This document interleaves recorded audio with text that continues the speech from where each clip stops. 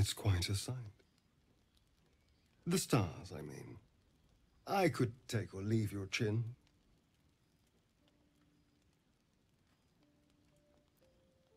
I can see the stars from Baldur's Gate, of course, but not with such clarity.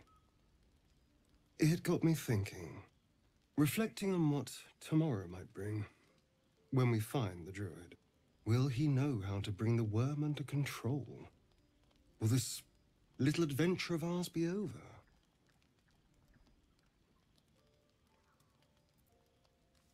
Good.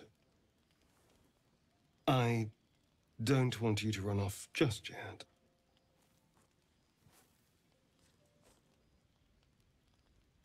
You're quite the ally after all. Traversing Avernus, surviving the crash, surviving everything that's followed. I'm not easily impressed by people, but you're stronger than I gave you credit for.